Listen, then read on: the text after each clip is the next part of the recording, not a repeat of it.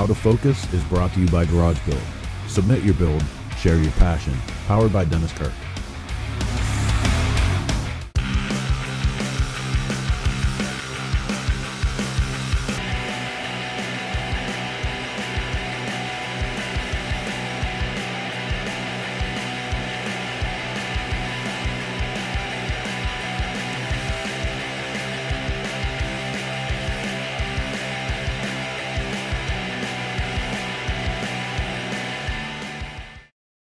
My name is James Fish Alcorn. My shop is Alleyway Kustoms, and I'm from Jacksonville, Florida.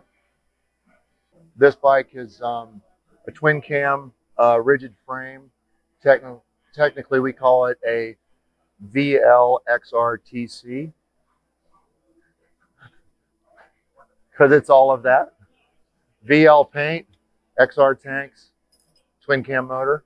This is our friend Chris Rosenberg's bike. Brian Buteris built the frame one of the challenging parts about this frame is this is a shovel head spec frame. So the, the rear section of this bike, all this stuff isn't supposed to fit in here. It kind of went under assumption when we're fabricating the bike, yeah, we'll just buy Dyna stuff. It'll all work. No, no, not, not in that frame width. The end result, you have a slim profile rear end that you're not going to get with an aftermarket frame at all. This is the first prototype of bare knuckle pulse narrowed triple trees uh, for the 49 millimeter front end. Uh, working with Arlen Ness on the brake setup. Standard 2013 twin cam 96 cubic inch motor, but it's foot clutch, jockey shift. Chris has never ridden a foot clutch, and I told him he kind of needed to step up. this is my new um, mid control prototype setup. Frame super light. The bike should fly. Um, with a Thunderheart ignition system, uh, the ECM and the coil is in between the tanks, and uh, it's just very minimal. Power straight off the battery to a key switch. We did key switch through the tanks, so it's kind of the the, the idea of this bike was uh, simple and clean and not much wiring, not much exposed. It's six wires. Most of it goes to the coil. These are uh, the low bar, the lowbrow um, XR tanks, but I cut all the um, all the visible mounts off of it. So it's got three tabs, one longer piece of one inch tubing that comes straight down that catches the bottom, but they all link together and overlap.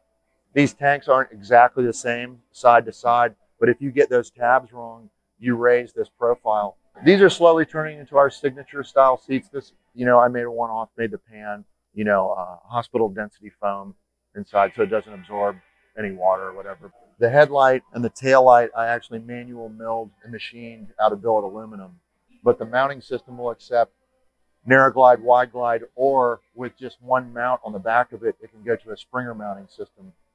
Tail light the same way, where it can mount with an ear tab to the sissy bar, or it can mount flat to the plate of your license plate, whatever. But uh, they're LED powered.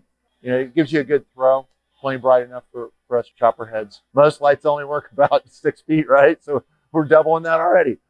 The handlebars are one off.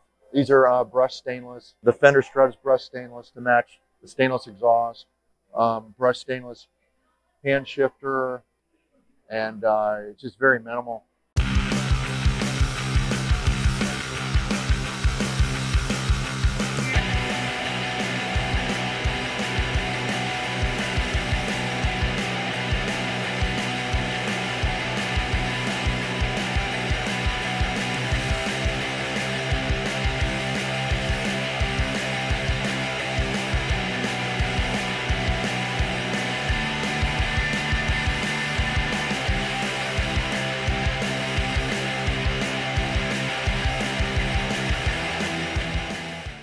My name is James Fish Alcorn with Alleyway Kustoms from Jacksonville, Florida, and you're watching Shop Talk.